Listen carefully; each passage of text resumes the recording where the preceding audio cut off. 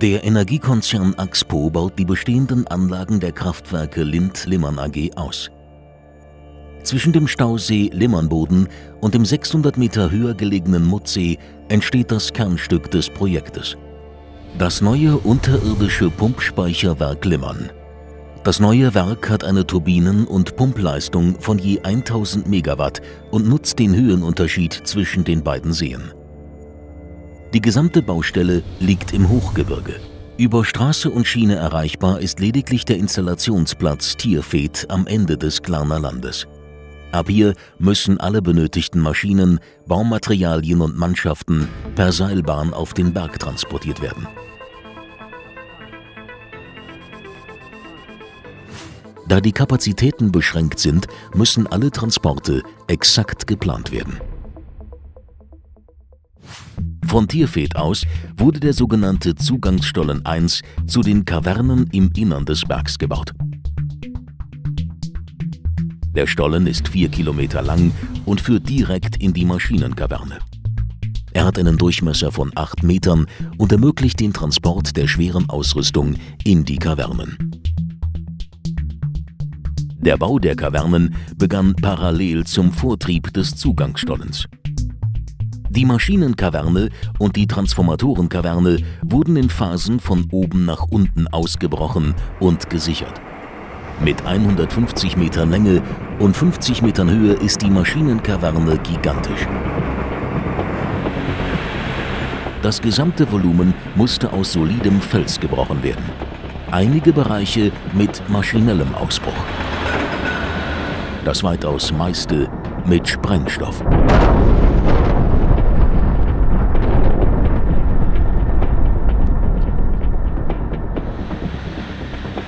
Das gesamte Ausbruchsmaterial muss aus dem Berg gebracht werden. Dazu wird in einem Stollen unterhalb der Kavernen das Gestein gebrochen. Der Großteil des Ausbruchsmaterials wird zum Bau der Stauanlage Mutzee auf den Berg transportiert. Der andere Teil wird in einer unterirdischen Betonfabrik zu Beton für den Ausbau der Kavernen weiterverarbeitet. Anfang 2012 ist der Ausbruch der 50 Meter hohen Maschinenkaverne abgeschlossen. Der Innenausbau kann beginnen. Der Zeitplan ist eng und es wird an vielen Stellen gleichzeitig gearbeitet. In den Fundamenten werden bereits die Saugrohre für die Pumpturbinen montiert. Gleichzeitig werden die Seitenwände betoniert. Das Gewölbe, bisher nur von Fels gehalten, wird so durch einen geschlossenen Ring abgestützt und kann dem Gebirgsdruck standhalten. Ende 2013 ist der Rohbau so weit abgeschlossen, dass man an einigen Stellen bereits vergisst, im Inneren des Bergs zu sein. Jetzt beginnen die Vorbereitungen zur Montage der technischen Einrichtungen. In der Maschinenkaverne werden die zwei definitiven Hallenkrane zusammengebaut. Sie tragen jeweils 200 Tonnen und werden später die schweren Einzelteile der Pumpturbinen und Motorgeneratoren in die Maschinenschächte ablassen. Auch in den Schächten laufen die Vorbereitungen. Auf den inzwischen einbetonierten Saugrohren entstehen die Fundamente für die Maschinengruppen. Insgesamt werden in den Kavernen über 80.000 Kubikmeter Beton verbaut. Genug für ungefähr 700 Einfamilienhäuser. Eine Großbaustelle tief im Inneren des Berges. Zur Anbindung des Werks an das Stromnetz werden Hochspannungskabel durch den Zugangsstollen 1 zum Unterwerk in Tierfeld gelegt. Von hier entsteht eine neue 380 Kilovolt Freileitung durch das Lehntal. Die 17 Kilometer lange Leitung ist Teil des Schweizer Höchstspannungsnetzes. Für die Freileitung werden 53 neue Strommasten gebaut. Der Bau der bis zu 89 Meter hohen Masten ist aufwendig. In unwegsamem Gelände muss das Baumaterial mit dem Helikopter eingeflogen werden. Parallel zur Fertigstellung der Leitung beginnt im Tal der Transport der schweren Ausrüstung zu den Kavernen. Bauteile wie das Spiralgehäuse der Pumpturbinen sind für den Transport durch die normalen Stollen zu groß. Die mit 190 Tonnen schwersten Einzelstücke, die Maschinentransformatoren, sind mit der 30 Tonnen Bauseilbahn nicht zu bewältigen. Die großen und schweren Teile werden daher durch den nun fertiggestellten Zugangsstollen 1 direkt in die Kavernen transportiert. Extra für diese Teile wurde der Stollen so groß gebaut und mit einer 200 Tonnen Standseilbahn ausgerüstet. Die Maschinentransformatoren wandeln die Mittelspannung der Motorgeneratoren in verlustarm transportfähige Hochspannung.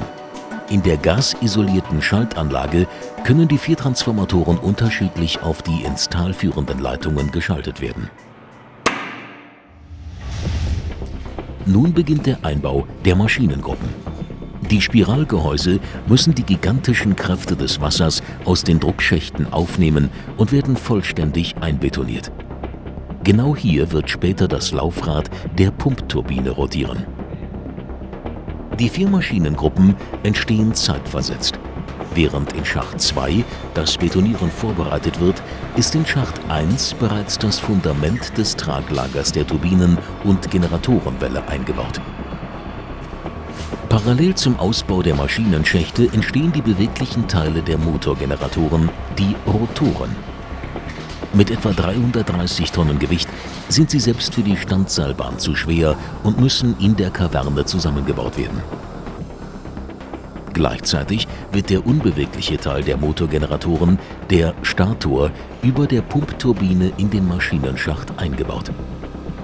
Schließlich wird der Rotor in den Stator eingesetzt.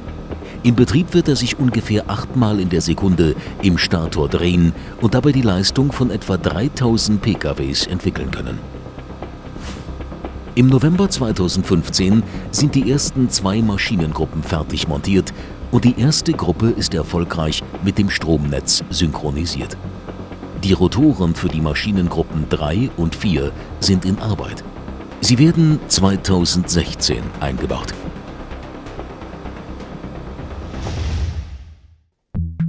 Zeitgleich mit dem Bau der Kavernen begann auch der Bau der Druckschächte in Richtung Mutsee. Die Schächte wurden nacheinander von Startkavernen aus von einer Tunnelbohrmaschine erstellt. Sie haben eine Steigung von 40 Grad und enden in der 600 Meter Höhe gelegenen Schieberkammer. Hier entstanden auch der sogenannte Oberwasserdruckstollen und das Wasserschloss, eine oben offene Steigleitung zum Druckausgleich im Stollensystem.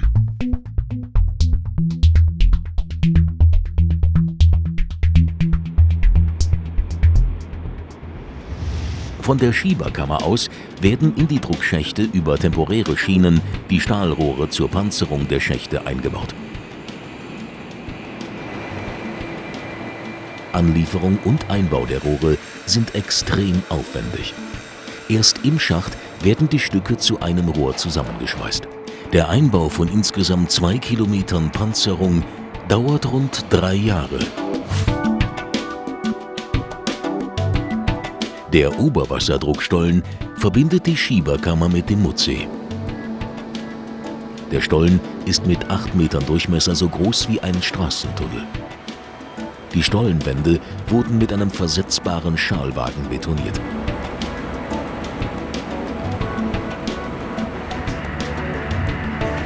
Am Portal des Stollens entstand 2012 und 2013 das Ein- und Auslaufbauwerk Mutsee. Das fertige Bauwerk beeindruckt mit seiner funktionalen Ästhetik und es ist fast schade, dass es zukünftig unter Wasser stehen wird. 2015 wird das noch geschlossene Bauwerk geöffnet und das Wasser wird durch den Oberwasserdruckstollen zu den Turbinen fließen.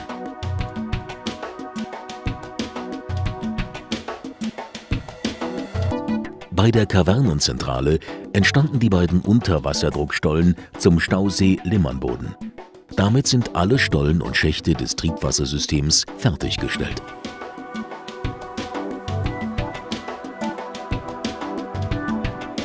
Für den Bau der Ein- und Auslassbauwerke wurde der Limmernsee fast vollständig entleert.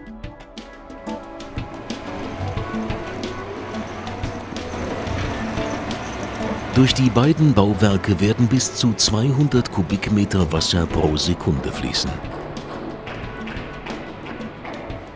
Die Formgebung der Bauten soll bremsende Verwirbelungen im Wasser minimieren.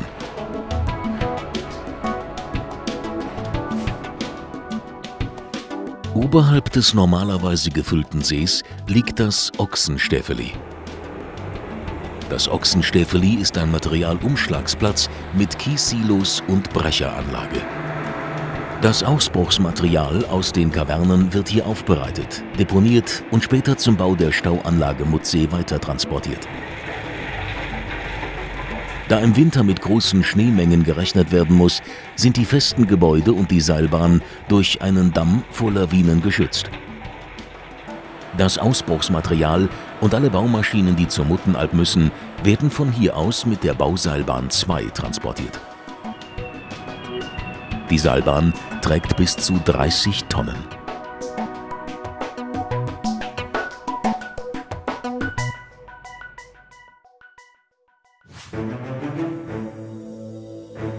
Die Bauseilbahn 2 führt zur Baustelle der Stauanlage Mutzee auf der 2500 Meter hoch gelegenen Muttenalb. In dieser Höhe kann nur im Sommer gebaut werden.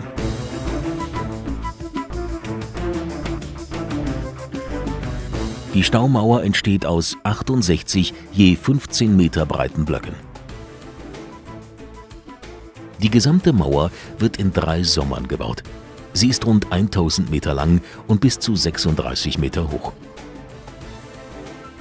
Im späteren Betrieb wird der Mutzsee um maximal 30 Meter aufgestaut. Das Fassungsvermögen des Sees wird damit etwa verdreifacht. Vor Baubeginn wurde die Baustelle eingerichtet. Die Bereitstellung der benötigten Baugeräte, Materialien und Mannschaften für eine Großbaustelle im Hochgebirge ist eine extreme logistische Herausforderung. Bis zu 150 Bauleute wohnen im eigens errichteten Camp bei der Baustelle. Die Arbeit auf dem Berg ist hart. Dafür ist die Aussicht bei der Mittagspause grandios.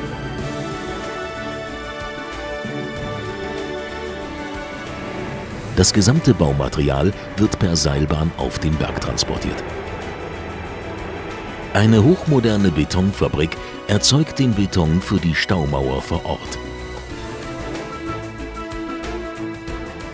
2012 ist ungefähr ein Viertel der Mauer im Bau und man kann die Größe des späteren Bauwerks erahnen.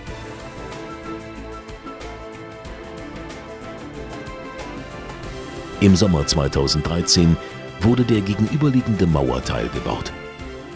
Hier entstehen die höchsten Blöcke.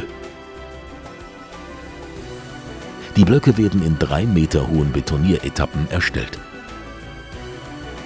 Das Betonieren einer Etappe dauert bis zu zwölf Stunden. Ende 2013 sind etwa zwei Drittel der Mauer gebaut.